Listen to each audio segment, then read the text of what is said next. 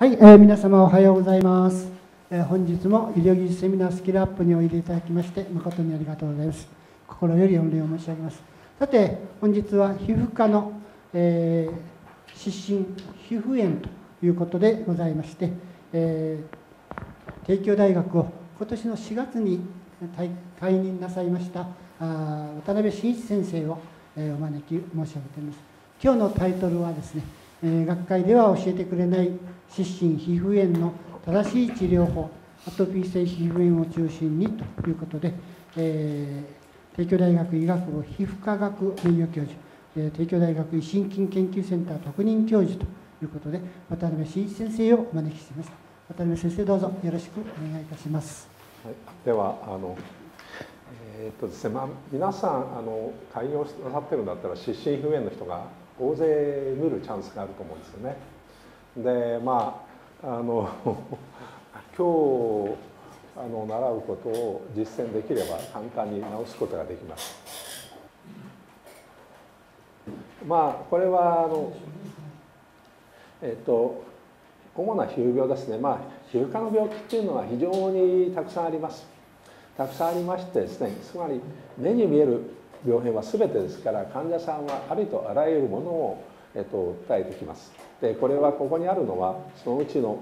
まあ、一部でありますけれども湿疹皮膚炎ですね。それから水虫とか飛び火。飛び火は子どもさんでは最近少なくてますでニキビっていうのはかなりありふれた病気ですね、まあ、思春期であればまずえっと、起こります。でそれからシミそばかす。これは高齢者だとえっと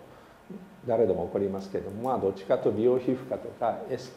というところでやってますけども、まあ、ここら辺もかなり皆さん、えっと、マスコミとかなんかで、えっと、騙されておりますけれども今日は時間がありませんのでであざですねまああざは患者さん来ますけれどもでその中でまあ本当にありとあらゆる珍しい皮膚病とか皮膚がんとかそういうのも全部入りますけれども今日は主に湿疹皮膚炎この話をさせていただきます。でこのなぜ湿疹皮膚炎っていうのはですね、まあ、皮膚科患者さんの約3分の1、まあ、非常に頻度が高いんですね。でおそらく皆さんのところにもたくさん来ます。水虫の人だってついでに夏場の後来て治してくださいと言っています。それでまず湿疹皮膚炎っていうのは主にこの外因性の湿疹と内因性の湿疹でそれから内因とも外因とも区別できないその他の湿疹ということに分かれてあります。で外因性湿疹っていうのはいわゆるかぶれです。だからこれ誰が見ても大体分かると思いがちですけれども実際はそうではないこともやります。今日はあとはアトピー性皮膚炎ですね。白性皮炎などです。でさらにこのこの中の外因性湿疹まあ簡単に言いますと外因性湿疹っていうのは、まあ、このように接触皮膚炎まあ俗に言うかぶれです。でそれから、えー、と光接触皮炎。で光接触皮炎っていうのはこれ光光線が関与するやつです。まあ日焼けなんかもある意味ではあと光、えー、と光線過敏症ですからあのなしであります。それから外因性皮膚湿疹ですね。まあこれも外因性かどうかっていうのは結構微妙ですけどまあ水仕事ですね。水仕事とか手洗いなんかが原因ですからある意味では外因性です。それからおむつ皮膚炎おむつ皮膚炎っていうのは最近非常に少なくなって、えー、とおりますけれどもあの紙おむつとかなんか使って少なくなっておりますけれどもただまあ小児だとあの下痢とかなんかしたりすると多いです。え次に内因性湿疹というのはこの外からかぶれではなくて原因不明な湿疹ですね。原因不明な湿疹が内因性湿疹まあアトピー性皮炎とか脂漏性皮炎、まあ、体質によるものでありますからこの体質によるものっていうのは体質ですから左右対称右だけの湿疹とか左だけのアトピーとか右だけの脂漏性皮膚炎というのは基本的にないんです。なぜなぜかというと体質ですからね。で左右対称でないものはこれ外因性のものです。でその他にその皮脂欠乏性湿疹、まあ、これは皮膚が乾燥することによってできる湿疹でありまして、まあ、別名老人性湿疹とも言います。それから加齢状湿疹とか自我感作性皮膚炎とか一体性皮膚炎っていうのがありますけれども、まあ、この加齢状湿疹とか自家監査性皮膚炎というのは、まあ、これらの湿疹をですね、えーと、不適切な治療にあってアレルギー反応で全身広がったものです。それからこの黄体性皮膚炎というのは静脈瘤。静脈瘤によって生じるものでありましてまあこれは静脈瘤を治さないとなかなか良くならないということであります。で実際にその細かいものを見ますけれども まあ、外因性。な陰性ですね。でその他の湿疹でこの皮脂欠乏性湿疹、まあ、乾燥肌による湿疹です。で鬱体性皮膚炎。っていうのはどういうものかっていうのを言いかかりますけれどもこれいわゆる乾燥肌ですね。乾燥肌でありましてまあ年取ればみんな誰でも乾燥してきます。えーと、私なんかはあと35歳過ぎるあたりから、えーと、乾燥肌になります。風呂によく入る人です。で人間の皮膚の乾燥肌っていうのは場所によって違いまして風呂入れば要するに洗顔すればするほど乾燥肌になります。で男の人の場合は顔は油っ気が多いですからで女性の場合は二十歳がピークなんですね。と女性の場合は油っ気というのは二十歳がピーク。ところが男性の場合は二十歳、まあ、思春期からずっと中年ぐらいまで続きますんで顔の乾燥っていうのは起きません、えっと、なかなか起きません。まあ洗顔しすぎると話は別ですけれども。でも体の方は膝から下です。膝から下は30年まあ中年以降になると膝から下が乾燥するようになりましてそれからだんだんえーと、年齢とともに膝から下からあの大腿とから下半背中の方まで大体乾燥が進んできます、えー、特に冬場になると出てくる。だから乾燥肌といってもですね大体これ夏場はあんまり症状が出てきません。冬場は出てくる。それからあの風呂入りすぎるですから不老者ではあんまり乾燥肌になることはないんですね。で日本人は風呂風呂好きですから乾燥肌非常に多い。でこの、まあ、乾燥肌でありましてこの間このこの段階で保湿剤とか何かつけてる分にはいいんですけれどもそれを行っていたりするとあるいは風呂入りすぎたりするとこのように湿疹が出てきます。でこれは乾燥肌でも皮下傷とかこういうところに皮下傷がありまして湿疹かゆくてたまらない。でこういう人はどんどんひどくなりますんでこのようになりましたらちゃんとステロイドをやらないと良くなりません。まあ後でお話しますけど皆さん保湿剤が結構湿疹皮膚に有効だとこうイメージ戦略っていうかその、まあ、メーカースポンサーのあれでありますけれども保湿剤が湿疹皮膚炎には効きません。乾燥肌にはいい。だから予防には乾燥肌の予防にはいいけれどもこう湿疹皮膚炎になってしまうとですねやっぱステロイドじゃないと効きません。でこれはですねこういうのを貨幣状湿疹ってまああの貨幣っていうかまあコインですね。コインと同じような湿疹でまあ、こういうとこに出てきてこれほとんどが不適切な治療が原因です。治療をちゃんときちんとやってれば介助湿疹にはならない。不適切治療でそれからこれは鬱体性皮膚炎ですね。静脈瘤まあ別の名前を静脈瘤症候群と言いますけれども、まあ、その静脈瘤によって生ずるんですね。例えばここに分かりますよね。下肢の静脈瘤。静脈瘤があるとですねそうすると特に足のところにまあ静脈もありますけどそうすると皮膚の色が黒くなったりと痒くなったりします。この患者さんはまだ黒いだけで、えーとまあ、こういうのもかき壊して炎症を起こして繰り返すことによって黒なんですけれどもこの患者さんはここに静脈瘤があります。でこういうところに湿疹が出てきます。これも湿疹ができてきてこういうのが非常に痒い。こういうのはステロイドをやればもちろん良くなるんですけれども結局静脈瘤を治さない限りはまた再発を繰り返す。ですから普通さっき湿疹皮炎は治すことができるといっても原因がある場合はその原因を取り除かなければよくなりません。でこれはですねこういうのが下影状湿疹ですけれどもよく見ると細かいプツプツ引っかき傷がいっぱいあります。これはあの自家感査性皮炎これも不適切治療をやってると,、えー、とどんどん全身に広がってきてパッとひどくなって下影状湿疹とかできます。ですからこの不適切治療をやる前段階、えっと、やらないようにしてきちんと治してればこうなることは普通なんですね。ただまあこの自家感作性皮膚炎とか過剰湿疹が出てもちゃんとステロイド強力なこの場合はかなり強力なステロイドやらないと良くなりませんけれども強力なステロイドやれば簡単に良くなることができます。皆さんステロイドまあ後でお話ししますけれどステロイドは怖い薬だからといって弱い薬とかちょっとしかつけない。そうするとなかなか治りません。そうすると患者さんは結局治らないからいろんな病院を転々と強力なこのくらいひどいやつですね。最も最強力なデルノベートやれば1週間で良くなります。1週間で良くなれば書かなければ湿疹皮炎は悪化することはないんですね。だから皆さんあとアトピーとかなんか出てきてしてで手が届かないとこには決して出てきません。手が届かない。だから書いてるとできます。で時々背中とかなんかに出る人はいますけれども大体孫の手とかですねお風呂入ってゴシゴシ洗いしてる。あるいはこの手があの柔らかい人はですね結構な手が届いてあります。だから書かないとこには出てこない。だからいかに書かないようにするかっていうことが一番の重要な課題です。で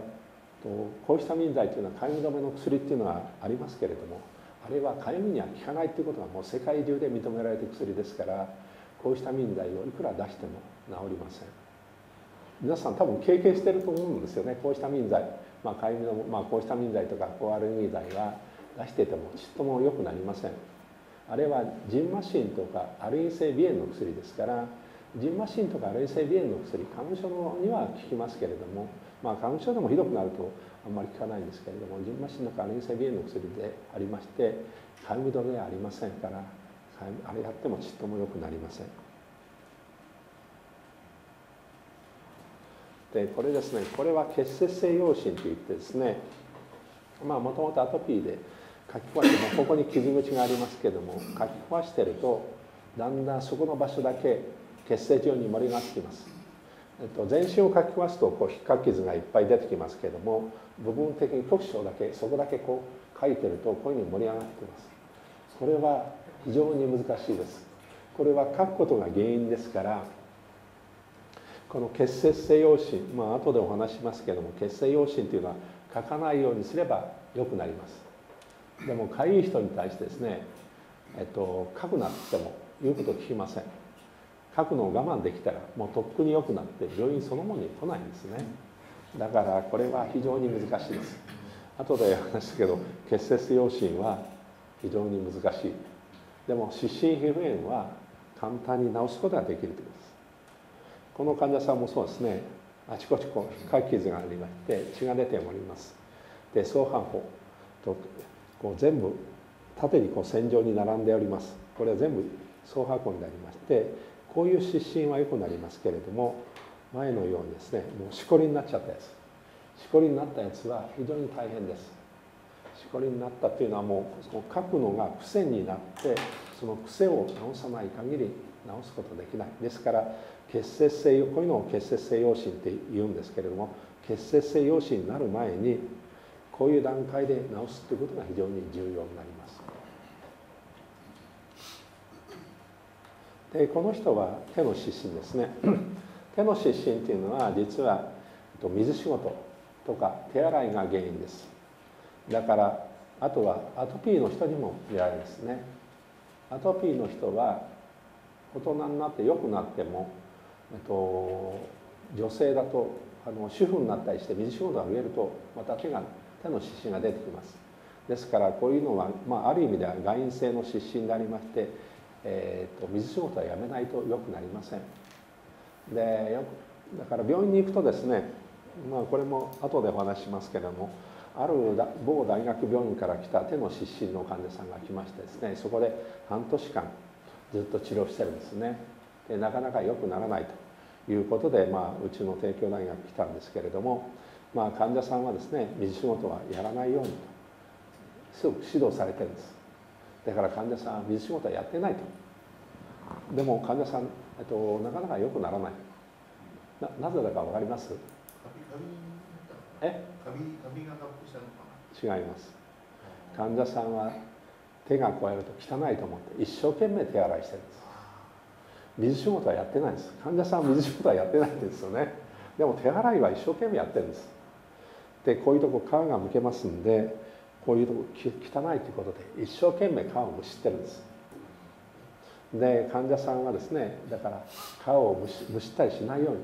手洗いも不必要に。まあトイレ行った時はしょうがないけど手洗いしないようにいじらないように。それでデルムウェイト強いやったら1週間でよくなりました。でそこの患者さんは来てですね前の大学病院では皮をむしてはいけないと誰も言ってくれなかったと思ってました。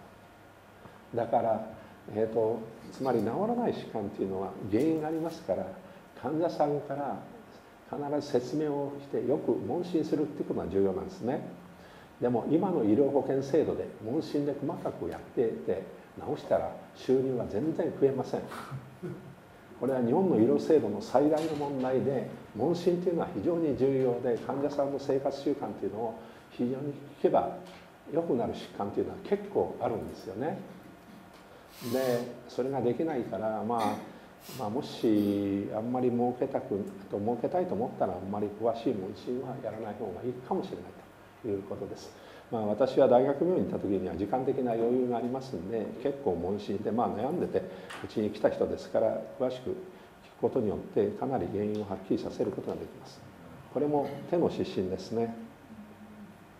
だから手の湿疹でも美容師さんとかもう職業的なのとやめらない人というのは、ね、これはもう残念ながら治療法ないんですよね。仕事を辞めてくださいっていうわけにいかないしあるいは美容師さんにですね一日木綿の手袋をしてその上からゴムの手袋をして直接水に触れないようにと言ったって職業柄患者さんにてゴムの手袋でやるわけいかないからもう早く偉くなって実際にやらないようにしてくださいというしかないですね。でこれはですねアトピ性皮膚炎の人に言われてでアトピ性皮膚炎っていうのはまあ後でお話ししますけれども8割は良くなるんですよねほっといても自然に良くなるんです2割ぐらいはあとそのまま大人になっても続くか一旦良くなった後成人になってまた出る人です。でもずっとなんかずっと良くならない患者さんというのはほとんどが不適切治療です。まともな治療をやってれば簡単に良くなる。でこの患者さんはまああのでそれでアトピー性皮膚炎で実際お世話になって良くなった後もあと主婦で仕事をやったり水仕事をやるようになったりすると手の湿疹ができます。で最近はですね、えっとまあ、主婦湿疹って言われるんですけれども手湿疹の主婦湿疹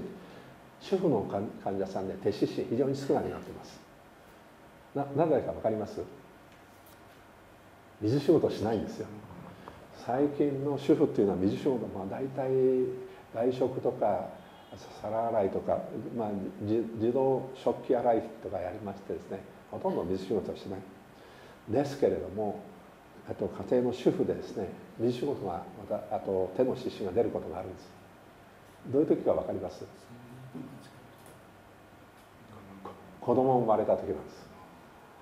赤ちゃんができるとやっぱり赤ちゃんは清潔に扱わないといけないということで本人一生懸命手洗うんですよね。おむつ替えたり何か子供に食事させたりするために一生懸命やります。ですから最近の羞恥心の人っていうのはあの赤ちゃんが生まれていくから。あと結婚しても羞恥心になる人は非常に少なくなってます。昔は多かったんですけど今は少ないですね。でこれがですね、えーと、こういうのを我々対線化っていうんですけれども。もう皮膚がゴワゴワして硬くなってゴワゴワして硬くなってですねちょっと分かりづらいですけれどももうシワがあるんですよね、えーと、これを冷や形成って言います。冷や皮膚紋理ですね。我々健康な皮膚でも皮膚紋理っていうのが、えーと、見られるんですけれど皮膚冷や形成が著名になります。著名になってゴワゴワしてる。こういうものを対線化といってこの対線化っていう証拠があるっていうことは慢性的な刺激を繰り返しすると対線化になります。だからこういう患者さんがいた場合はこれ慢性的な刺激があるというまあつまり書いてるというんですね。慢性的に書いてるとこういうふうに皮膚がゴワゴワして硬くなって皮膚紋理が結構著名になるということであります。こういうことはいや私は書いてない。時々いるんですよね。あのいや書いて書かない。いや私は全然書いていません。っていう人います。でもよくよく聞くとですねお風呂入った時にゴシゴシ洗い。書くのとお風呂入ってゴシゴシ洗いは全く同じですからしかも風呂入ってゴシゴシ洗いのがさらに皮膚が柔らかくなってるんで余計傷つきやすいですからまだ余計始末が悪いんですね。裸だから風呂入ってゴシゴシ洗いすると背中とかなんかにもいっぱい湿疹皮膚炎が出てきます。でまあ以上がまあ皮膚科の簡単な話でありましてこの外因性の湿疹ですね。なんか原因がある湿疹ということです。でまず有名なのが接触炎、まあ、俗に言うかぶれ。それから光接触皮膚炎ですね。でそれからこれ主婦疹ですね。それからおむつかぶれ、まあ、これがそうです。でまずこの接触皮膚炎の話をしますけれども